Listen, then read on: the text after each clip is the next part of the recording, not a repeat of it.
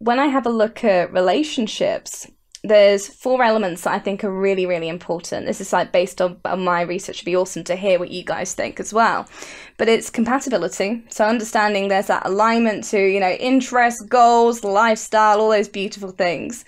There's also consideration that that person actually has self-awareness. That person has um, emotional intelligence. Otherwise, it's like doing a dance with someone who's stamping all over your feet. you know, you're not going to be able to dance well together in that relationship. There's also that level of communication because you need to have those deep talks sometimes. You need to be able to have deep discussions about the things that mean most to you. I mean, like I said, my partner and I, we love psychology and we've had a, a two hour discussion before. Now, this is really geeky, by the way, on um, uh, the meaning of sorry, you know, and how to apologize and what the best way to apologize is and where all that comes from and everything. And then the last one is that collaboration. And this is the difference between a healthy relationship and a narcissistic one.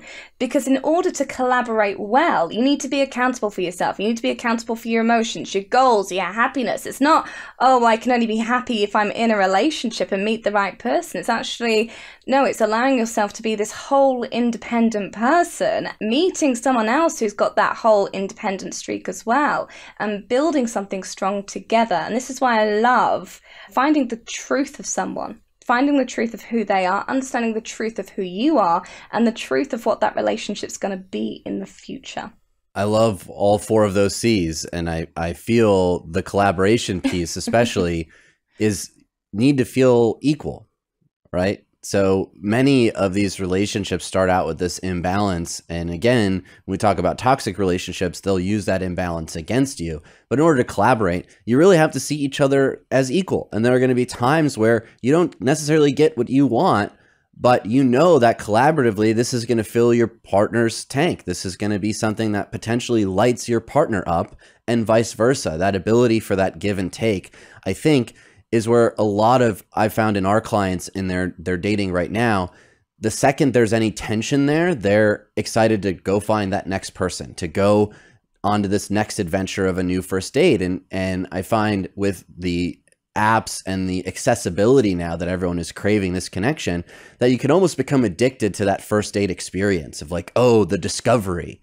But it's very surface level. Like what you're talking about with these four C's, that deeper connection that's not sparked on a first date. That's really taking some time and some thoughtfulness and communicating to get to know the other person and get a fuller picture than any profile and any 45 minute, three hour coffee date, dinner date, walk in the park date is really going to give you. I was gonna say, I love the fact that you talked about the equality part because, like, if you are equals in a relationship, it creates that deeper passion, that chemistry, and that's when you're having people having, you know, better sex lives, basically.